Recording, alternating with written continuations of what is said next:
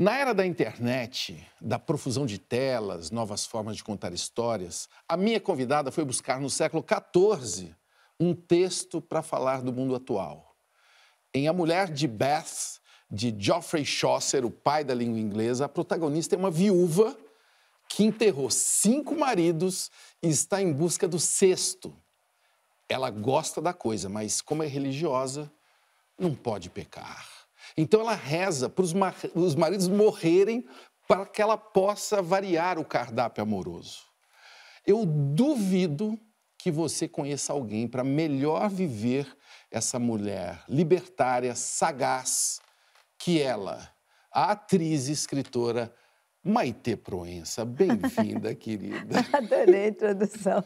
A vida profana e a religiosa nela não tem nenhum problema. Ela, elas se é. confluem, se misturam, ela não fica com culpa, ela percorre muito bem aquele. E, e esse cara escreveu isso no século XIV, já com você na cabeça? 1380, eu acho que sim, porque eu respeito muito ele. Não haveria língua inglesa, como a gente fala e ah. escreve hoje, é. É, se não fosse pelo Chaucer, porque antes dele tinha um monte de dialetos. É que a gente não conhece mais, morreram todos. Ele escolheu o dialeto que se falava em Londres na época.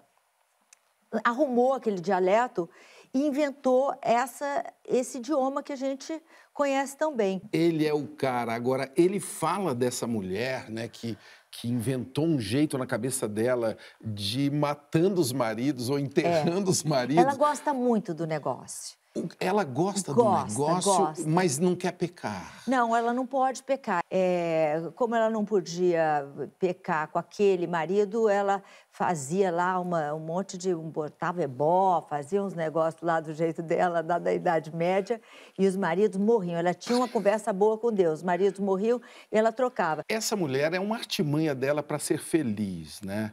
É, qual é a sua pra ser artimanha? Para ser livre. Para ser livre. E, e, qual é a sua artimanha para ser livre? Eu também preciso ser livre. Hum. E eu acho que as mulheres todas, né? Acho que todo esse movimento feminista que renasceu é, apesar dos excessos eventuais, ele, ele vem disso, né? Da, da, sei lá, é, a mulher sempre foi ultrajada. É, é natural que surja, que o movimento ressurja, né? As mulheres fazem dois terços do trabalho mundial e elas têm 1% da propriedade. Essa é a estatística. Dá é um uma dica pra, de artimanha sua para as mulheres que estão te ouvindo agora, para ser livre. Eu acho que a gente tem que chegar mais próximo do que a gente de fato é, porque a gente faz muita concessão para um mundo intransigente, né? Hum. E, e, quanto mais jovem você é, mais concessão você faz, porque você precisa, você ainda não sabe muito bem o que, que você pensa, o que, que você é. E é bom que você não saiba, para que você tenha flexibilidade para experimentar as coisas todas. Hum. Mas gente, essas concessões adulteram a gente. Né? Você né? fez muitas Fiz, concessões, por muitas exemplo? Muitas concessões. Aí eu fiz muitas concessões no trabalho, sofri muito hum. é, com as concessões que eu fiz. Um, fiz, fiz muitas concessões para ser querida, hum. uh, porque por, por necessidade de, de, de, do afeto, né? E uh, virei a minha cabeça do avesso para que ela tivesse em conformidade com o grupo hum. é, ao qual eu pertencia.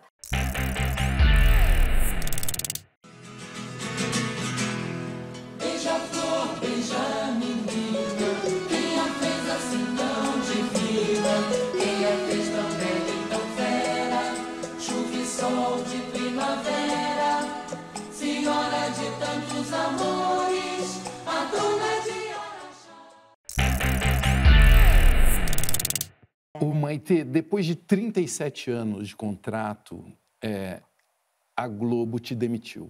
É. O que, que você aprendeu com esse pé na bunda? Olha, eu. Quem fez meu primeiro contrato foi o Boni, sabe? Cheguei lá para fazer um contrato. Eu achei que eu nunca ia sair de lá, porque havia uma, um relacionamento apesar de ser administrado pelo, pela pessoa que até hoje ainda mais entende de televisão no Brasil, que é o Boni, é, tinha uma atmosfera meio familiar. Então a gente construiu aquela, aquele tijolo a tijolo. né? Então, você ser mandado embora não é uma coisa muito agradável. E a outra coisa que acontece ali dentro que eu percebo é que uh, quem ficou tem panelas, né? como em todo lugar, eu acho. Você gosta de trabalhar com os seus. Então, pra, pra, os atores precisam dar festas, convidar os diretores, sair para comprar bolsa com a diretora em Nova York. Tem uma série de coisas que eu não consigo mais fazer. Eu não sei qual é a política, eh, não parece ter muito uma política, Agora, sabe? Você está liberta da TV, de uma certa maneira, e, e eu queria entender o que, que você está fazendo com tanta liberdade. Olha, com tanta liberdade, eu tô, é, é, o momento do Brasil também é um momento difícil, né? Hum. Então, eu estou fazendo muito, muito teatro. Além da Mulher de Bata, eu estou fazendo uma peça que chama A Beira do Abismo Me Cresceram Asas. Foi uma peça que eu escrevi. que é a sua cara, esse, essa, esse título já, né? É, mas são duas velhas. Elas são velhas velhíssimas. e elas é, não tem mais ninguém. E, mas elas têm uma outra é uma grande amizade. E essa amizade é tudo na vida delas. E, e, e a graça da peça é que, é que, elas são completamente diferentes uma das outras. E ela mostra que é possível você andar de mão dada com o teu oposto. Hum. E, e, Isso está difícil hoje, né? Tá, tá muito difícil. O, o Maitê, no Roda Viva aqui na TV Cultura em 2017, você disse que o casamento é uma instituição que favorece o mundo masculino. Mas no geral, né, falando de uma maneira culturalmente, a mulher é que sonha em se casar, enquanto para o homem mas casamento o, é game o, over. Mas né? o homem sonha em ficar a vida, a vida eterna ali. Ah, é? Porque quem rompe os casamentos são as mulheres, em geral, né? Ah. O homem se acostuma e fica ali. Ele Pode estar uma coragem. desgraça, não tem coragem de sair. As mulheres que saem. Por quê? Sei lá. Henrique Miranda sensacional. Ele está adorando. Bela e sábia. Minha pergunta é: namora comigo? Uai, Henrique, quem sabe? A gente pode marcar para tomar um, um, assim, um, um coco. É, porque café, almoço é longo, né? Não dá para despachar. Jantar que, é comprometedor. Homem que é muito apressado assim não funciona, né, Maite? Ou funciona? Não tem regra. Não tem regra. Não tem regra. Tudo é pode. Eu acho que você tem que faz aí, manda ver, tá? Acho legal. Vai que cola. Oh, né? meu Deus. Vai Isso que é que é fascinante, gente. Não tem regra, o que não deixa a coisa regra. É. ainda mais excitante. Vamos lá. Ana Maria Begueto Pacheco, Maitê, você é inteligente, mas parece gostar de ser mulher objeto. Por quê? Ah, não entendeu direito, né? Escuta, bota a tua escuta mais afinada aí que você vai ver. Eu acho que eu gosto de agradar o outro, hum. é, eu tenho um temperamento forte, então tenho que me esforçar para isso. Acho que é bacana a gente, para tentar se entender, a gente tentar confluir, é necessário. Se ficar batendo de frente, vai ser uma guerra. E a gente não quer viver em guerra, a gente quer viver em paz. A paz tem mais valor do que a razão, né? Eu concordo, mas daqui a pouco vai começar uma guerrinha aqui, Maitê. Ah, é? Nós vamos falar das opiniões de Maitê Proença sobre a política. Você participa com a hashtag Provoca.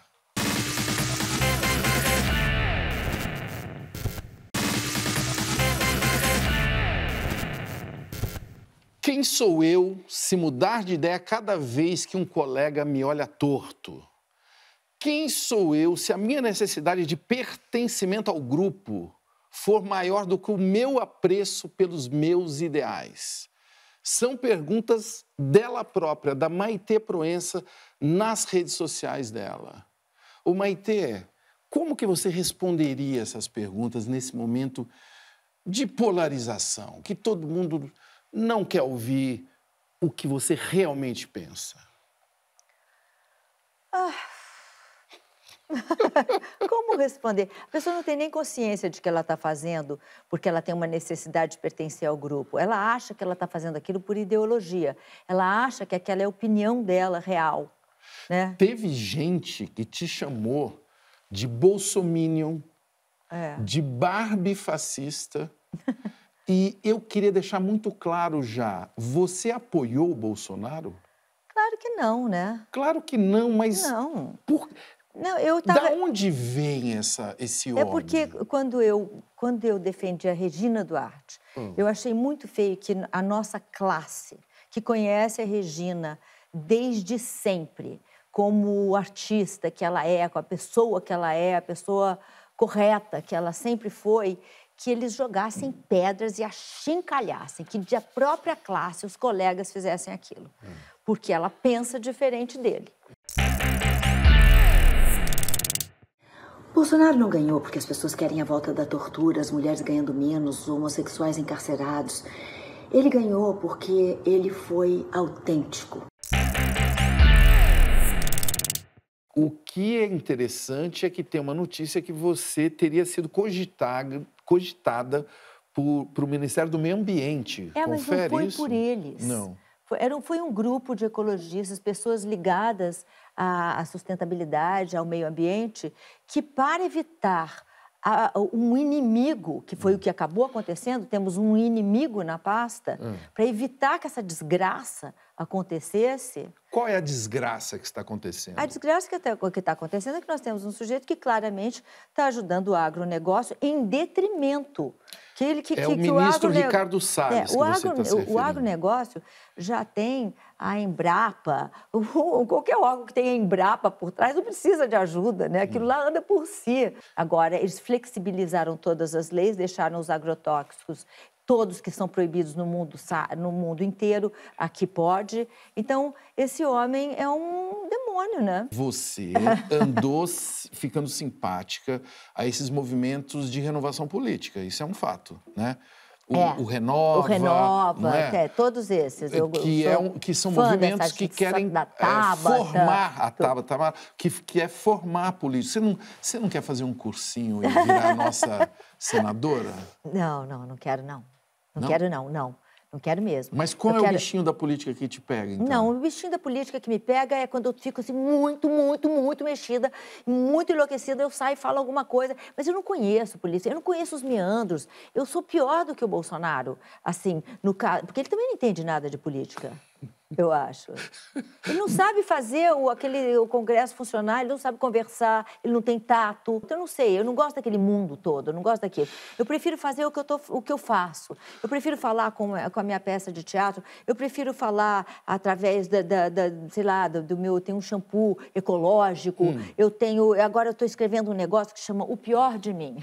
O pior de O mim. pior de mim. O E- pior de mim... Mas você está entregando tudo? Eu não sei o que, que eu estou entregando, mas eu estou com medo de- do que eu estou escrevendo, medo que eu me pelo. Porque o- o- a escrita é maravilhosa, né? Porque você pode não mostrar para ninguém. É. Você pega, joga fora, aquilo lá não, ninguém Me nunca conta viu. uma coisa que, mas... ainda, que ainda a gente não, leu. Não posso. Eu não posso porque eu não sei nem se eu vou ter coragem. Tiro da minha cabeça para esquecer que eu sou aquela pessoa.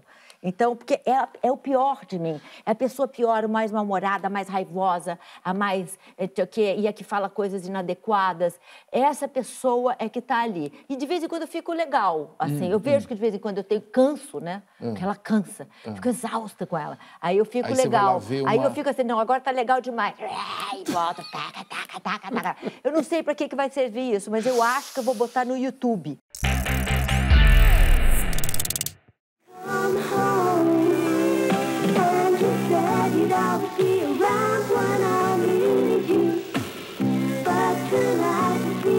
Quem casa quer cônsul. Põe a cônsul.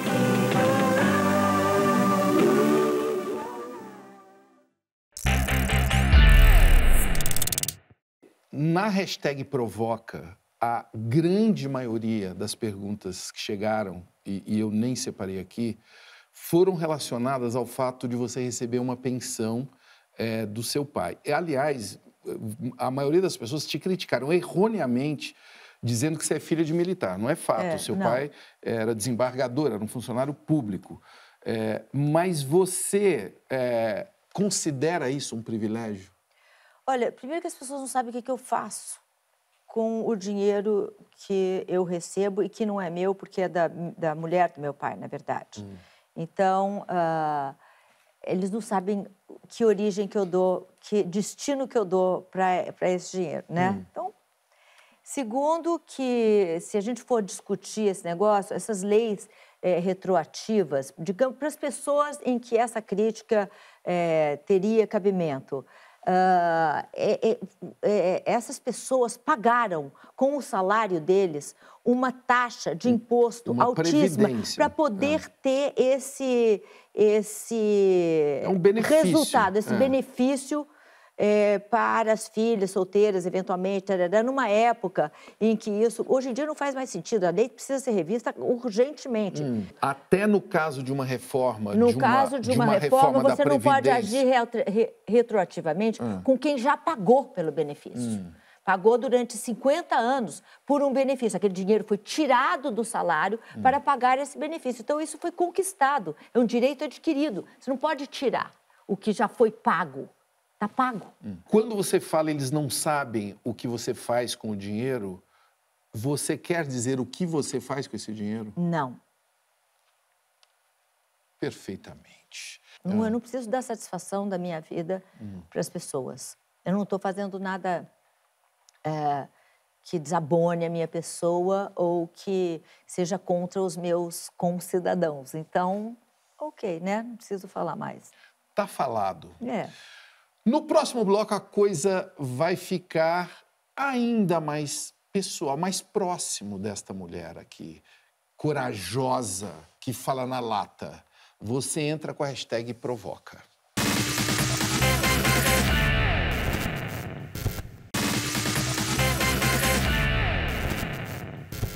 Ô Maite, você já abordou publicamente, inclusive num livro, né, a tragédia do assassinato da sua mãe pelo seu pai e, e o posterior suicídio dele.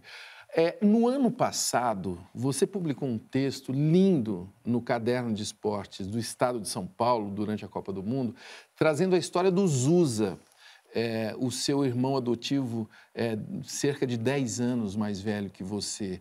É, chama- o título é Meu Irmão Negro. Quem foi o Zusa? Quando meu pai estava em início de carreira, ele era mandado para várias comarcas muito pequenininhas e, e ele foi eh, sediou-se em Ubatuba. E, e Ubatuba era uma, uma coisinha microscópica. Ele era a autoridade da cidade. Um dia chegou lá no... eu- ele não era casado com a minha mãe ainda, eu nem existia. Chegou lá um, um servente de pedreiro falou, olha, doutor, o senhor é autoridade aqui na cidade, eu perdi minha mulher, eu tenho esses sete filhos. Foi com sete filhos no, lá no, nesse lugar onde meu pai trabalhava, no, não sei onde era, ma- e, e disse, eu tenho esses sete filhos, eu não vou poder cuidar deles, então o senhor tem que resolver esse problema para mim. E meu pai falou assim, tá bom, então para começar, eu fico com aquele ali.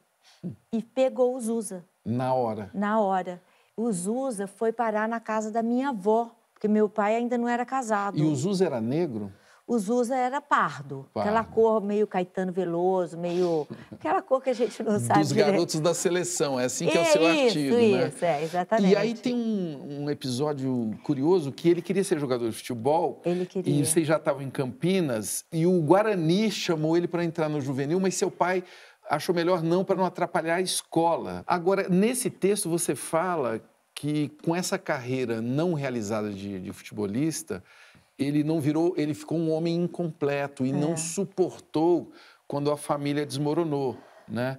É, eu queria entender como que você é, segurou. Porque ele acabou morrendo também. Ele né? acabou É. morrendo depois É. alcoolismo. É, ele depois que meu pai se matou, ele três meses depois ele ele fez ele se matou também.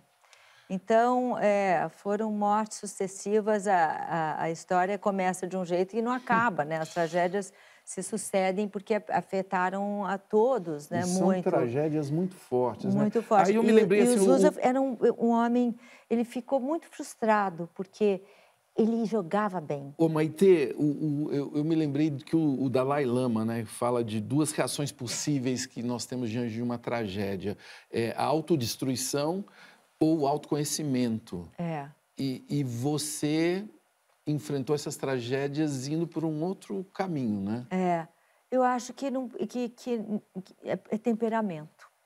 É temperamento. Ou você emburaca ali fica se sentindo pena de si e, e achando que o mundo foi injusto com você, ou então você vê que o mundo é injusto mesmo com todo mundo, né? Porque as pequenas, o acúmulo de pequenas tragédias diárias também é uma barra pesada, né? Vai massacrando a personalidade das pessoas. E ou você tem o negócio que te impulsiona para frente, ou não. E eu tinha. E o que foi que te impulsionou? Eu, bom, primeiro que eu sobrei com, com... O Zusa foi embora de casa, não aguentou a, a história toda. Foi embora até antes da minha mãe morrer, ele já não estava aguentando aquela história, porque estava muito pesado. E ele saiu. E me sobrou um irmão pequeno. Eu tinha que criar aquele meu irmão. Meu pai ficou louco, foi parar no manicômio. Então, não... É, é, Teve que amadurecer rápido. é, não tinha muito jeito. Então eu fiquei com aquele irmão para criar, eu tinha opções a fazer, eu tinha muitas coisas para para cuidar, sabe? E fui levando como eu pude. E você entendeu? tem uma coisa também de não se abater com a tristeza, né? Você luta contra a tristeza, não tem? Eu tenho horror à tristeza, porque eu conheço ela profundamente. Então, quando eu. eh, Ela vem, porque não tem jeito. Mas eu vou lá, eu chafudo lá embaixo e depois eu saio mais rápido que eu posso. Eu não gosto dela nem um pouquinho. Tem gente que gosta. Tem gente que se sente, sente bem ali, porque dá uma importância para a vida quando você está quando você tá muito triste, muito triste. A vida ganha um sentido. Mesmo que seja um sentido deprimido e voraz e horroroso. Então, Maitê, me diga então, o que é a vida? o sentido da vida, você está me perguntando isso, se Deus existe, qual é o sentido da vida, esse tipo de pergunta. Eu acho, eu acho, Marcelo, que a gente não sabe o que está fazendo aqui, a gente não sabe para que que a gente veio aqui, a gente não sabe por que, que tem que preencher esse espaço de tempo, por que, que não dura só um átimo, por que, que é 100 anos para um, 20 para o outro, 5 minutos para o outro. A gente não sabe nada, é um grande mistério. Eu acho muito legal que seja um mistério também. Acho que não é para a gente saber. E eu, majestade, fiquei sozinha. Sozinha e humilhada. Ouvindo as fidalgas de Vossa Majestade cochicharem uma nos ouvidos das outras. Olha, aquela ali é a moça do imperador. Ô Maitê, eu tenho uma curiosidade, porque você foi criada no ateísmo, né? Os É. Meus seus pais, eram ateus convictos. Como você é esta força de mergulhar na vida espiritual? Mas eu fui procurar, né? Hum. É, Eu acho mais legal você descobrir Deus quando você não tem Deus do que você estar acostumado com Deus desde pequenininho. Porque aí você vai. Ele nasce para você. Tive experiências profundas Hum. espirituais, profundas, arrebatadoras, que me levaram para o mistério. Eu fui lá. E o que, que você encontrou? eu encontrei uma unidade com um cosmos, com uma coisa maior. Eu encontrei um, um- eu, eu me senti integrada com esse treco que faz com que eu e você sejamos a mesma pessoa, eu e ele, aquele câmera, eu e todas essas pessoas que acham essas coisas todas de mim, eu fica tudo bem, não tem problema, somos a mesma pessoa. E É- as é- pessoas que estiverem agora achando que você é uma maluca, É, elas também fazem parte fazem também dessa parte disso. conversa. Eu fico vendo essas pessoas falam assim: ah, é, eu sou igualzinha é, quando eu tinha 20 anos, eu não mudei nada, eu penso as mesmas coisas. Eu sou completamente E, e diferente. como se fosse uma virtude, né? O- o- Eu acho que eu era uma pessoa muito trancada emocionalmente. Hum, eu demorei muitos anos para começar, para conseguir chorar. Você né? se lembra o que que te fez chorar? O que, que me fez O que, chorar? que te libertou dessa coragem? Olha, eu, eu acho que como eu escolhi essa profissão, que era o antípoda do que eu, do que eu poderia fazer, né?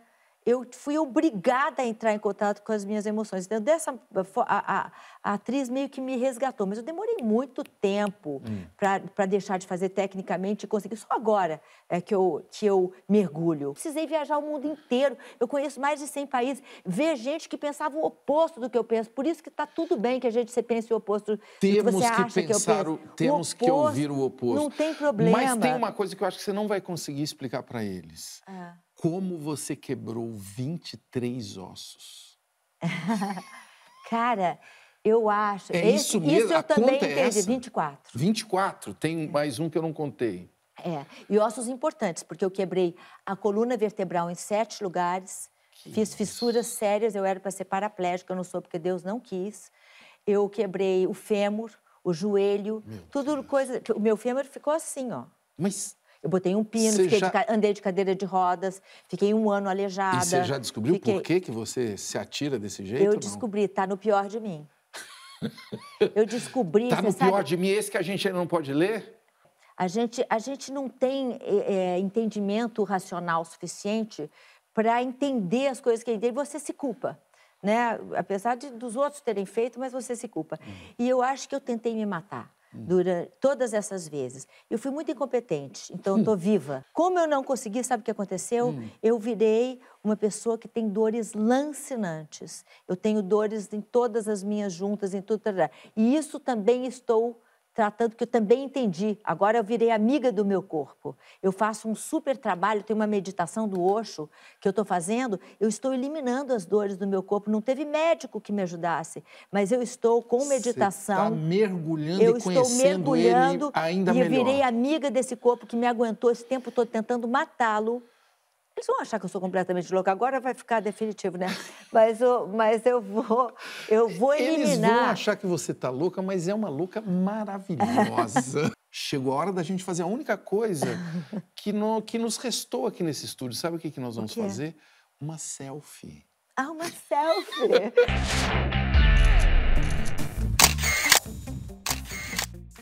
Maitê, Sim. brigadíssimo, meu amor, por Você ter gostou? vindo aqui. Adorei. Você? Eu achei que. Eu não sei, não fico muito consciente, fico falando assim. não sei, né? É, E Achei- eles? Será achei que eles, será que eles ficaram em dúvida? Vocês- Era a ideia, a ideia era essa mesma, ficar em dúvida, tá? Mas enfim, uma dúvida que gosta. É assim, que gosta. ficou provocado, E- se sentiu provocado. E manda mais pergunta com a hashtag provoca. Até terça, pessoal.